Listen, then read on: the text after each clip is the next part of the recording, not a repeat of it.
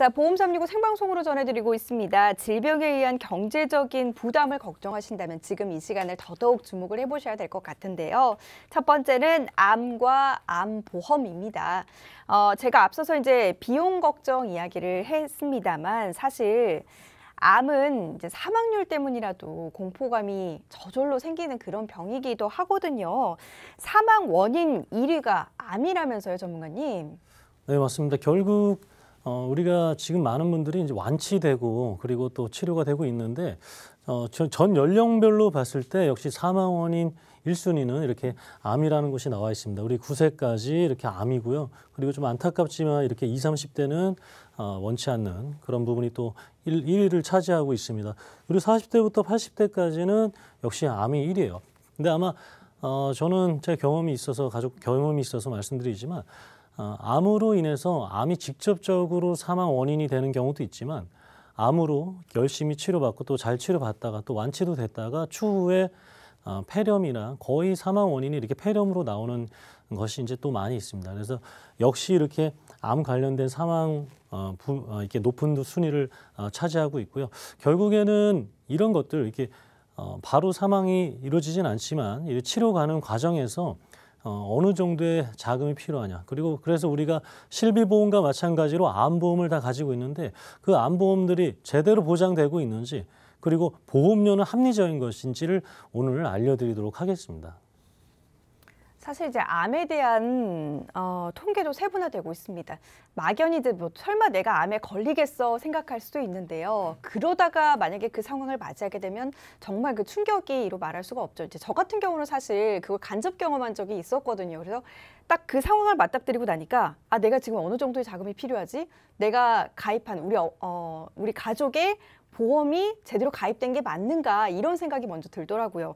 어, 이처럼 막연히 유명 보험사에 뭐 암보험이다라고 가입을 했다가 후에 이제 그 세부적인 내용들을 확인하면서 아 내가 그때 왜 이런 부분을 확인하지 못했을까 후회하시는 분들도 분명히 있으실 것 같거든요. 그런 의미에서 우리가 이제 암보험을 가입하기 전에 특별히 어떤 부분을 좀 체크해 보면 좋은지 그 중요 요소들을 체크해 보는 것도 좋을 것 같아요. 네. 어, 제가 아는 동생 중에 이제 서울 노원구 상계동에 아, 살았던 동생이 있는데 거기에 토요일만 되면 토요일 저녁 시간만 되면 특정 집에 한 1km 이상 줄을 쓴다고 합니다. 어떤 집이냐면 로또 파는 데예요. 근데 로또 파는 데가 1등만 무려 10번 이상 당첨됐으니까 그 집을 그 집에서 사면 나도 당첨되겠지 해 가지고 1km 이상 사고요. 토요일 날 그 저녁 8시에 은행에서 현금 수송 차량이 경비원들과 와서 대기합니다. 왜 거기로 갈까요? 많이 당첨됐으니까 그런 겁니다. 그러면 우리도 암 같은 경우에도 많이 발병되는 암이 많이 보장이 돼야 되는데 그렇지 않기 때문에 그래요. 자, 발병 순위부터 제가 알려드릴게요. 남성 같은 경우는 이렇게 위암이 압도적으로 1위고요. 대장암, 전립선암, 갑상선암, 이렇게 방광암, 남성 생식기암이 굉장히 높은 순위에 차지하고 있습니다. 그 수많은 암 중에. 여성 같은 경우에는 이렇게 갑상선암이 1위를 차지하고 있고요. 여성 생식기 관련된 암이 이렇게 10위권 안에 7위 안에 자궁 또 유방까지 해서 차지를 하고 있어요. 그리고 우리가 그 로또 집에 줄 서는 것처럼 나도 그 어, 해당 해당 사항이 될 수 있으니까 줄 서는 것처럼 이렇게 발병률이 높은 것들을 우리가 보장을 많이 받아야 되는데 이 빨간색 선에 안에 있는 것들이 빠져 있어요. 지금 암보험이라고 내가 다 있는 것이라고 생각하겠지만 이 암에 걸렸을 때 나는 보장들이 1, 200만 원, 보험금의 10% 20%밖에 못 받는 것으로 보장되어 있는 분들이 많기 때문에 제가 아, 이 부분을 첫 번째로 말씀드리는 거고 어, 왜냐하면 많이 걸리는데 돈도 많이 들어서 그래요. 뭐 1위로 해서 뭐 간암, 폐암 뭐 이런 것들이 있지만 지금 아까 빨간색 선에 있던 거 한번 말씀드리도록 하겠습니다. 위암 같은 경우에는 평균인데 국립암센터 자료입니다. 이게 2017년도, 2018년도 자료인데 지금은 더 들어간다라는 거죠. 2천, 아, 2,600만 원 정도 필요하고요. 자, 지금부터 요 밑에까지 다 1위부터 7위 안에 있었던 암들인데 비용들이 1,000만 원에서 2,500만 원 사이예요. 근데 내 암보험은 이런 빨간색 선에 안에 있는 암이 발생했을 경우에 300만 원 또는 100만 원밖에 못 받는다는 겁니다. 암 진단비는 왜 필요하냐면 병원비를 치료하기 위해서 필요한 게 아니라요. 병원비는 우리가 수술비라든가 실손 의료비로 분명히 충당할 수가 있어요. 암 진단비는 내가 이 큰 진단으로 인해서 3개월 또는 6개월, 길게는 2, 3년을 쉬어야 됩니다. 이 쉬어야 되는 그 기간 동안 소득이 줄어드는 기간 동안 소득이 없어지는 그 기간 동안 필요한 돈이에요. 그런 금액이 이 치료비와 더불어서 필요한데 내 보험으로 100만 원, 200만 원밖에 안 된다는 것은 문제가 되고 있기 때문에 오늘 어, 다시 한번 말씀드리도록 하겠습니다. 이게 보통 암 같은 경우는 딱 진단을 받고 나면 나라에서 어느 정도 이제 그 비용이 지급이 되기 때문에 어 생각보다 암과 관련한 어, 비용이 그렇게 들지 않네 이렇게 생각할 수도 있거든요. 하지만 이제 수술만 하고 끝나면 다행이지만 그 뒤로 이제 항암으로 인해서 뭐 1년, 2년, 심지어는 뭐 5년까지 길어지면서 이로 인한 치료비가 이렇게 늘어남으로써 뭐 2천만 원, 6천만 원까지 비용이 늘어나게 되는 겁니다. 어 요즘 나오는 암보험 그럼 실속 있게 우리가 이제 가입하기 위해서는 뭐 일반암의 지급 범위를 보면 된다 이렇게 생각하면 될까요? 네, 맞습니다. 이, 이 지급 범위가 사실 넓어야 좋은 거죠. 어, 생식기암이 이렇게 1위부터 7위 안에 포함되어 있는데 이것을 따로 출연해서 보장을 따로 해주겠다. 이것은 무엇일까요? 보험료를 한 번 더 받겠다라는 겁니다. 돈을 한 번 더 받겠다. 원래 이렇게 다 포함되어 있었는데 어, 요거 자주 걸리니까 빼놔야지 하는 것은 돈을 더, 받, 더 받겠다라는 거예요. 더 받지 않는 보험이 있기 때문에 말씀드리는 겁니다. 자, 기본부터 말씀드리면 일반암은 우리가 아까 알고 있는 폐암, 위암, 간암, 식도암, 췌장암 이런 유사암을 제외한 모든 암이 일반암이고요. 아까 2위부터 7위 안에 있었던 생식기암, 유방암, 자궁암, 방광암, 전립선암, 대장정막 내암까지가 생식기암으로 분류되는데 아, 분류되고요. 그리고 유사암 우리가 알고 있는 이런 어, 갑상선암을 포함한 대장전막 내암 이런 것들이 유사암입니다. 자, 그러면 이렇게 세 군데로 나누는 데가 있고요. 아니면 이렇게 두 군데로만 나누는 데가 있습니다. 근데 이 두 군데로 나눠야지만 이 생식기암이 일반암에 포함돼서 그 높은 발병률을 안에 있는 그 보험들도 보험금을 3천만 원 받고 5천만 원 받고 1천만 원을 받는데 자 일반암은 3천만 원이고요. 생식기암이 걸렸을 때는 10% 300만 원 주겠고 갑상선암은 뭐 10%, 뭐 20% 주겠다. 이렇게 되니까 아까 그 병원비라든가 내 소득 활동의 줄어듦을 커버할 수 없기 때문에 그렇습니다. 암보험에 있어서 지금 많은 분들이 다 암보험이 있겠지만 이것이 이것이 일반암에 포함되어 있느냐를 꼭 오늘 방송 보신 분들은 체크해 보셨으면 좋겠어요. 근데 이제 조금 전에 이야기해 주신 암들이 이제 뭐 일반암 그리고 소외감으로 분류하는 기준이 보험사마다 어, 다르다 이렇게 이야기가 들리던데 그럼 한마디로 이제 뭐 보험사에 따라서 보상이 달라진다 이렇게 보면 되는 건가요? 네, 그렇습니다. 일단은 우리나라는 크게 보험사를 두 가지로 나눌 수 있습니다. 생명보험사와 손해보험사로 나눌 수 있는데 손해보험사는 뭐 어떤 화재보험, 어떤 해상보험이 다 손해보험사입니다. 어, 암 진단비를 3천만 원을 준비를 하신다라고 가정을 하면은 손해보험과 생명보험사의 보상 금액이 조금씩 다릅니다. 일단 첫 번째로 우리가 따져보아야 될 암은 바로 유사암이죠. 유사암은 지금 현재 기준으로 손해보험사는 천만 원에서 이천만 원까지 준비가 가능합니다. 반면에 생명보험사는 일반암 삼천만 원에 10% 내지 20%만 보상을 하고 있어요. 그러면 300만 원에서 600만 원만 보상을 하는 겁니다. 근데 생명보험사는 유사암에 이 대장전막 내암이라는 암이 들어가 있습니다. 대장암의 초기의 암을 얘기를 하고 있는데 이 암이 앞서서 남성암에서도 2위를 차지하고 있고요. 여성암에서도 3위를 차지하고 있을 정도로 이렇게 발병률이 높은 암들이에요. 그러면 보험사 입장에서는 발병률이 높다 보다 높, 다 보니까는 일반암에서 계속 빼는 겁니다. 일반암에서 소액암으로 분리하고 소액암에서 또 유사암으로 분리를 하는 거죠. 그래서 유사암은 완치율이 거의 90% 넘는 암들이라고 생각을 하시면 돼요. 그리고 그 다음에 소외감, 생식기암이라고 또 표현을 하고 있습니다. 그래서 손해보험사는 모든 회사가 지금 현재 기준으로 일반암으로 다 돼 있습니다. 하지만 가입 시기에 따라 조금씩 다릅니다. 2015년도부터 2018년도까지 어, 한 네다섯 개 회사가 이 생식기암을 이제 일반암에서 제외를 한 적도 있고요. 이 대장 전막 내암을 또 유사암으로 포함한 시점이 있어요. 그래서 우리 시청자분들 가입한 보험에서 꼭 한번 어, 확인이 필요하고요. 반면에 생명보험사는 이제 어, 일반암이 만약에 3, 3천만 원이 들어가 있다. 그러면 소외감, 생식기암은 20%에서 40%만 보상을 합니다. 그러면 600만 원에서 많게는 1,200만 원만 보상을 하는 거죠. 그리고 일반암의 기준은 앞서서 손해보험사는 유사암을 제외한 나머지죠. 유방자궁, 전립선, 방광, 대장전막 내암이 모두 다 일반암입니다. 하지만 생명보험사는 유사암과 소외감을 제외한 나머지 암들이죠. 그래서 위암, 간암, 폐암 뭐 이런 게 있고요. 그다음에 특약으로 보험사들은 고해감을 판매를 하고 있습니다. 그래서 생명보험사는 혈액,뼈, 뇌가 기본적으로 3대 고해감에 들어가고요. 그다음에 손해보험사는 두 가지가 더 추가가 됩니다. 식도랑 췌장이 들어가고 그다음에 보험사들마다 조금씩 다를 수 있지만은 어, 여러 가지 부위에 관련해서 간이나 폐 이런 부위, 림프절까지도 고해감에 포함이 되기 때문에 내가 가입한 보험사가 손해보험사라 해서 생식기암을 모두 다 일반암을 보장을 하는 건 아니고요. 그리고 생명보험사에 가입하신 분들 같은 경우는 꼭 손해보험사로 가입을 하셔야지 어, 발병률 높은 유방자궁 전립선, 방광, 대장전막 내암을 모두 다 일반암으로 보상받으실 수 있을 것 같습니다.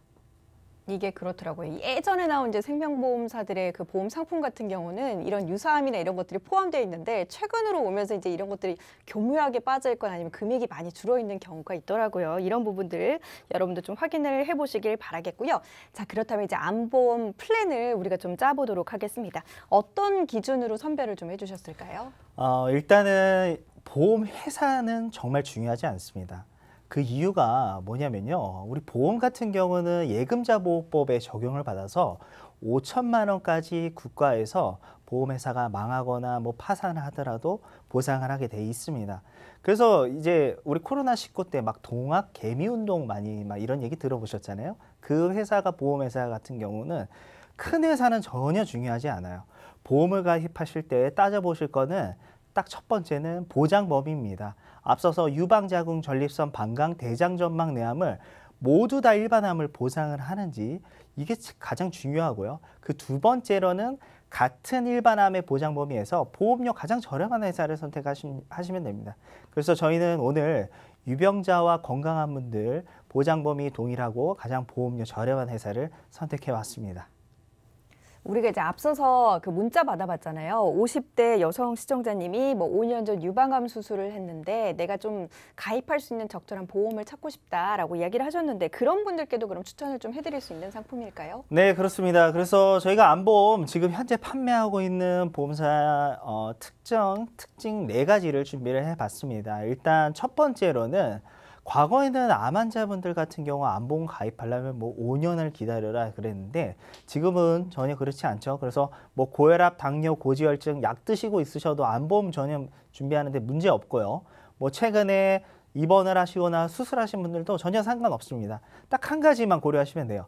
5년 이내에 암, 백혈병, 에이즈, 간경화 이 네 가지 질환만 보시면 되고요. 예를 들어서 이제 간경화 환자분들이나 뭐 백혈병, 에이즈, 암 환자분들이 있다. 그러면은 삼일 보험이라는 보험이 또 따로 있습니다. 그 보험을 통해서 암보험을 충분히 준비가 가능하고요. 그 다음에 건강한 분들 같은 경우는 이제 어, 보험사에서 무해지 상품을 이용을 하시면 보험료를 최대 30%까지 저렴하게 준비가 가능합니다. 그리고 두 번째로는 이제 일반암의 범위가 가장 보장 범위 넓은 암보험이에요. 그래서 유방, 자궁, 전립선, 방광, 대장 전막 내암이 모두 다 일반암인 회사이고요. 이 부분은 유병자, 유병자 암보험도 마찬가지고 건강한 암보험도 마찬가지입니다. 세 번째로 이제 암보험 가입하면 예전에는 고혈압, 고지혈증 뭐 이런 거 고지하게 되면은 막 부담보가 잡히거나 아니면 할증, 보험료를 조금 높게 받았습니다. 보험사들이.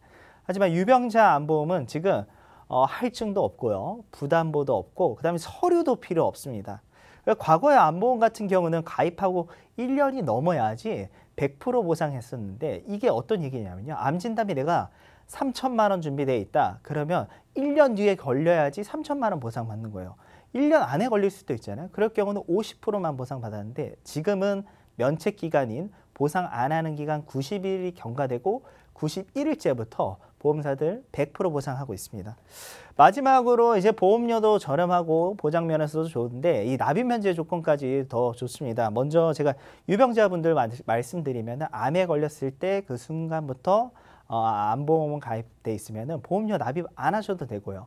우리 건강하신 분들 같은 경우는 조금 더 조건이 좋아요. 건강하기 때문에 그래서 암, 뇌졸중, 급성심근경색, 말기 간질환, 말기 폐질환, 그리고 말기 신장 질환에 상해 질병 80% 이상 후유장애 겪으시면은 그 순간부터 보험료 납입 안 하고 남아 있는 보장 그대로 보장 받으시면 될 것 같습니다. 자, 그럼 가장 중요한 보험료 부분도 우리가 좀 짚어보도록 하겠습니다. 병력을 가진 분들의 보험료 같은 경우는 어느 정도 나을까요? 네, 유병자 암보험 같은 경우는 일단은 기본적으로 암 진단비 3천만 원 들어가고요. 이 일반 암 진단비에는 앞서서 저희가 계속 말씀드리고 있는 유방자궁 전립선, 방광, 대장 전막내암 이 모두 다 일반 암입니다. 그리고 유사암은 이제 갑상선암, 기타 피부암, 제자리암, 경계성 종양인데 이 암들은 완치율이 높은 암들이라고 생각하시면 돼요. 특히 여성분들 같은 경우 갑상선암이 1위이기 때문에 예전에 가입한 암보험 같은 경우는 300만 원 보상이 거의 다 대부분일 겁니다. 암 진단비 3천만 원이면.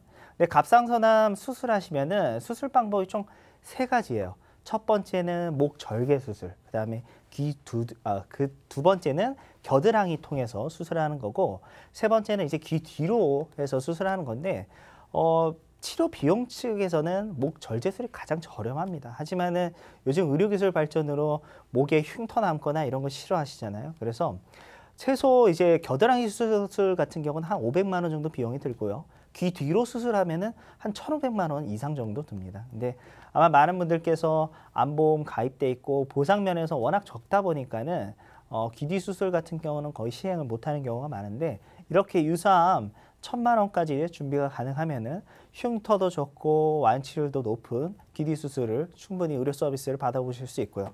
그래서 보험료 같은 경우는 이제 45세부터 저희가 60세까지 준비를 해놨는데 그 이상 연령 분들도 당연히 준비가 가능하고요. 뭐 여, 여성분들은 거의 다 2, 2만 원에서 3만 원대로 준비가 가능하고 남성분들은 또 40대 분은 2만 원, 그다음에 60대 분들은 3만 9천 원, 이제 4만 원이 조금 안 되는 가격입니다. 그래서 특히 흡연하시거나 음주 좋아하시는 남성분들 어떻게 보면 이 두 가지는 우리가 건강을 위해서 하면 안 되는 거지만은 또 사회생활하고 스트레스 때문에 어쩔 수 없다 하시지만 만약에 이런 암이나 질병에 걸렸을 때 어, 하루에 천 원에서 이천 원 정도 본인이나 우리 남아있는 가족들한테 투자해 보는 것도 좋을 것 같습니다. 자, 이번에는 건강하신 분들을 위한 또 정보도 드려야 될 것 같은데요. 암보험을 고르는 기준 자체는 뭐 크게 다르지 않을 것 같고요. 어, 짚어볼 거 이제 역시 보험료가 아닐까 싶어요. 보험료는 어떻습니까, 전문가님? 어, 우선은 이제 우리가 자동차 사고가 많이 안 나면 어, 보험료가 할인되고 또 올라가지 않잖아요, 그죠? 마찬가지로 건강하신 분들은 유병자 어, 암보험이나 뭐 다른 보험들과 다르게 역시 더 어, 저렴한 상태로 가입할 수가 있습니다. 저렴한 어, 모습으로. 근데 어, 제가 40세 여성 20년 납 100세 만기입니다. 즉 비갱신을 말하는 거죠. 보험료 안 올라가는 어, 고정으로 했을 때 암진단비 천만 원 그리고 유사암 진단비 천만 원 했을 때 보험사별로 차이가 이렇게 만 이천 원에서 최대 만 팔천 원입니다. 근데 우리 암 진단비 천만 원만 안 하시잖아요. 그죠? 한 삼천만 원에서 또한 오천만 원 한단 말이죠. 그러면 이 보험료 차이는 몇만 원 차이가 나는 거예요. 몇만 원 차이. 똑같은 진단비인 거예요. 똑같은 진단비. 우리가 어, 소셜 어, 커머스에서 아니면은 이렇게 포털 사이트에서 최저가 검색을 해보면 똑같은 상품인데 어떤 거는 막 만 원이고요. 어떤 건 만 오천 원이고 그렇죠. 그 판매처마다 다르잖아요. 똑같습니다. 보험별로도 이렇게 차이가 많이 나요. 우리가 근데 어, 물건을 살 때는 굉장히 비교하고 손쉽게 찾아볼 수가 있는데 보험, 금융 상품만은 그렇지 않은 것들이 많습니다. 그래서 어, 이렇게 수수료, 뭐 아니면 뭐 사업비, 회사별로 측정하는 그런 그런 전체적인 것들이 다 다르기 때문에 이렇게 어, 보험료 차이가 다르다라고 보시면 되겠습니다. 자, 그럼 저희가 또 보험료 비교를 해드려야 되겠죠. 건강한 사람들의 보험료는 어떤지 남녀 연령별 보험료 한번 비교를 해볼까요? 그래서 그 A사로 해서 가장 저렴한 회사로 해서 기본 플랜을 짰을 때 이렇게 기본 계약이 들어가는데 이거는 보험료가 뭐 10원, 100원 단위 정도라 보시면 될 것 같고요. 지금 어, 맨 처음 설명드렸던 것으로 다시 상기해 보시면 남녀 생식기암 즉 1위부터 7위 안에 있는 가장 많이 발병하는 그 모든 암에 있어서 이렇게 3천만 원이 보상되고요. 갑상선암을 포함한 이렇게 900만 원 했을 경우에 35세, 40세, 45세 남성분들은 자기 연령대와 비슷하게 이렇게 보험료가 나오면 된다 나온다고 보시면 어, 될것 같습니다. 그리고 여성분들은 다 3만 원대로. 자, 그럼 우리 30대, 40대 시청자분이나 아니면 3, 40대 자녀가 있으신데 갱신형이 아니라 비갱신형 보험으로 암보험으로 해서 이렇게 암진단비 보장 범위가 남녀 생식기암 다 포함된 3천만 원, 갑상선암 1천만 원, 900만 원 했을 때 이 보험료보다 많이 나오고 있다, 많이 내고 있다, 비갱신도 아니다 하시는 분들은 지금 이 A보험사 플랜을 한번 받아보시는 것을 권해드리고 싶습니다.